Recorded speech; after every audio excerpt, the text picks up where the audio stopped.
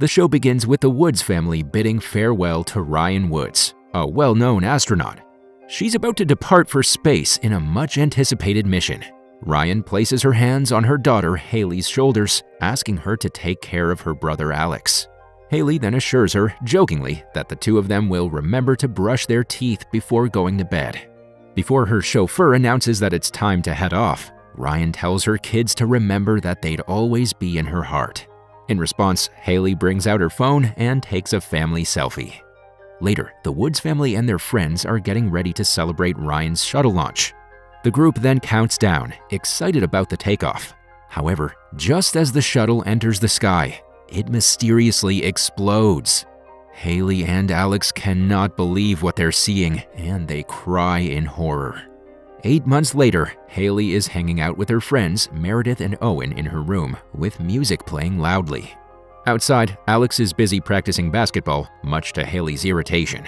It's revealed that Alex is practicing to get into the prestigious leadership institution named the Greenhouse Academy, which is also their mom's alma mater. In the morning, Haley drives Alex to the Greenhouse Academy for his big test. While in the car, Alex reads the Greenhouse Academy brochure, looking at an article about Louis Osmond, the headmaster at the greenhouse. As he ruffles through the pages, he learns that there are two clubs in the academy Eagles and Ravens, who are arch enemies. The siblings then finally arrive at the academy, and Alex makes his way to the exam room. In the main lobby of the greenhouse, Daniel, the captain of the Eagles Club, and his friend are briefing another newbie named Tyler on his greenhouse audition. They explain that he has to first pass his exam. After a while, the exam is about to begin, and the teacher briefs on the SAT procedure. She tells the applicants to mark their answers with the stylus located next to the tablet and that they will have the results as soon as they have finished. After this, they have to sit for the physical exam.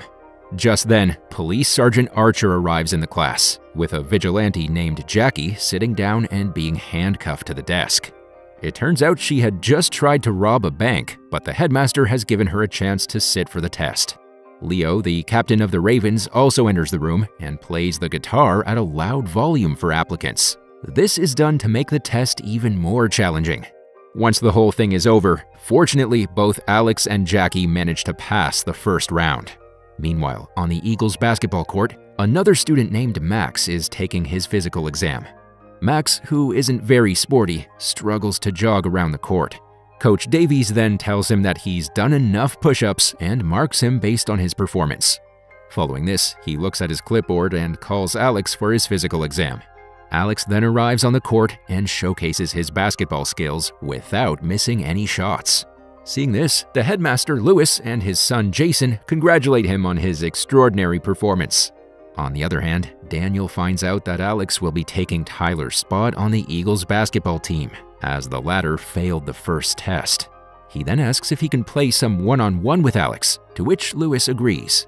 During their match, Daniel badmouths Alex's mom, causing the latter to lose his temper. When they almost get into a tussle, Haley intervenes. She defends her brother, trying to convince Louis that Daniel started the fight. She also expresses that her brother has worked for months in order to get into the greenhouse. Following this, Haley goes on to point out the school's slogan, wondering if it was really to produce bullies like Daniel. Outside in the greenhouse grounds, Alex is storming off, but his sister manages to catch up to him. Haley tries to calm him down, assuring Alex that he didn't do anything she adds that he was too good for the greenhouse. Just then, Louis catches up with the siblings. He explains that he appreciated Haley's honesty earlier. He also notes that they have qualities that the school wants in their students. Realizing what Louis is getting at, Alex asks whether he has gotten in. Louis then reveals that in fact, both of them have gained entry into the school, with Alex as a part of the Eagles and Haley being a member of the Ravens. But first, Haley has to take the written test as a formality, especially for her being the daughter of Ryan Woods. Later, as expected, our girl manages to pass the test and attend the opening ceremony alongside her brother. Back at the Woods household, Alex and Haley's father, Carter, is asleep. Just then, a thief breaks in. He creeps up to the family's laptop and plugs in his USB, extracting files from the laptop before deleting them. In the next scene, the first challenge between the two teams, Ravens and Eagles, for the first year begins. Ravens have Haley, Leo, Jackie, and Max in the team, while Eagles have Daniel, his girlfriend Brooke, Parker, and Alex. In the classroom, Louis announces that he will be sending the teams a riddle. The students will have to solve it to find the key that will unlock a gong. After reading it thoroughly, Brooke realizes that the riddle has something to do with a nearby beach so the Eagles head off. The Ravens also crack the riddle and follow them. The students dig the beach for a while until Haley realizes the answer must be in the main building itself. Back at the Woods household, police officer Eric has come to investigate the burglary. Sadly, his team do not find any evidence. Meanwhile, Leo and Haley manage to find the winning key in a small sandbox inside the campus building. Just then, Alex arrives at the scene out of love for her brother, Haley hands over the key to him, but he gives it back to her. Unbeknownst to them, they are being recorded by another Eagles teammate named Sophie. Eventually, the Ravens are awarded a table of delicious food after winning the opening challenge of the year. On the other hand, Sophie reveals to Daniel and the rest of the team that Alex is the reason they lost the challenge. She then shows them the footage of Alex tossing the winning key back to his sister, this only makes the Eagles hate Alex even more.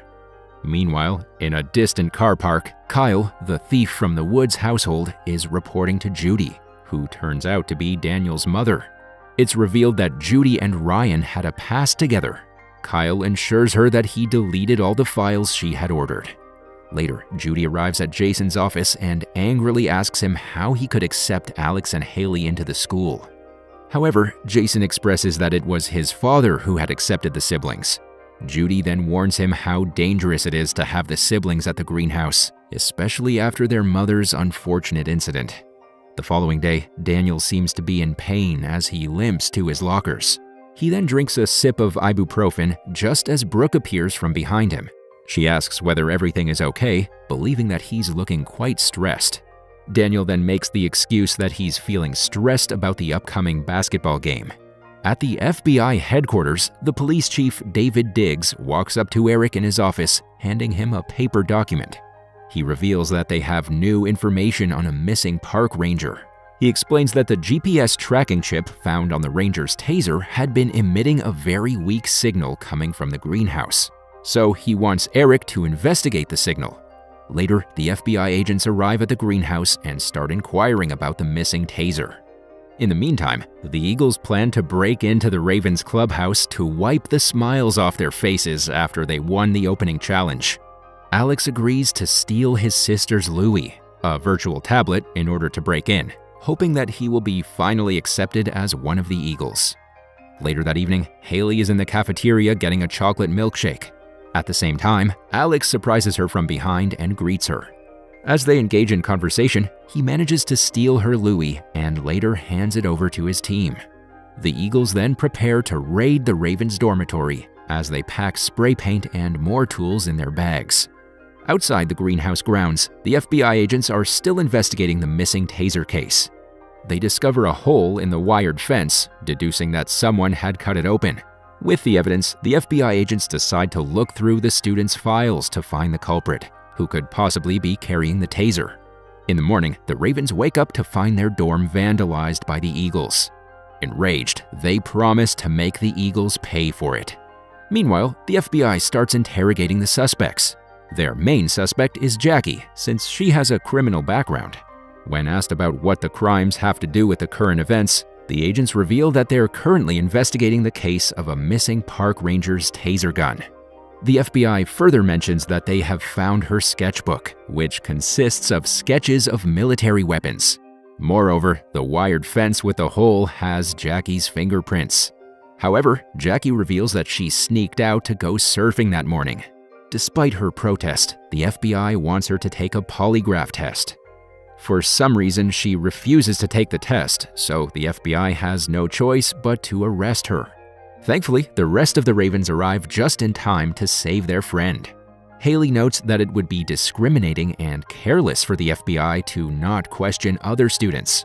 As a result, all the Ravens agree to take the polygraph test, which eventually proves that none of them are guilty of the crime, including Jackie.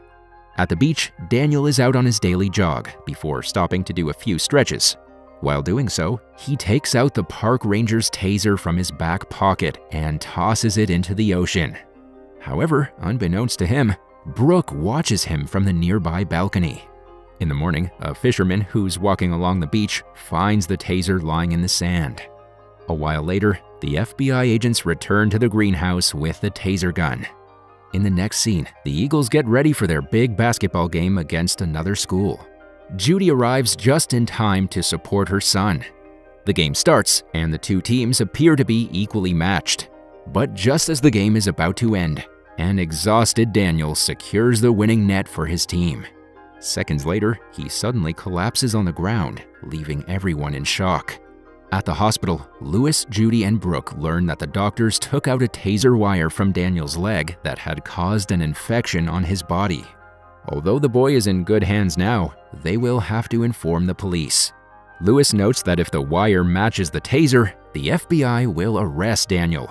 In the FBI headquarters, Chief David tells his subordinates to notify him as soon as the analysis report of the barbed wire is received.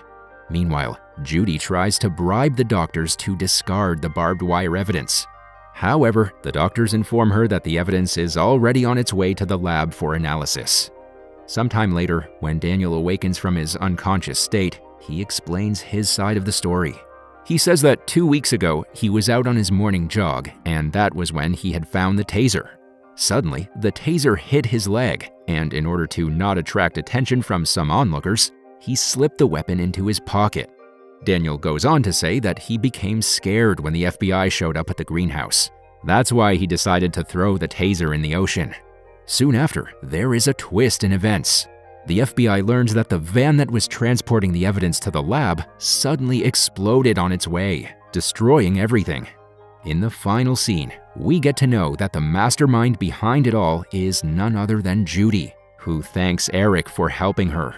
Later, Louis announces the news to Daniel, letting him know that he got lucky since the evidence has been destroyed in an accident.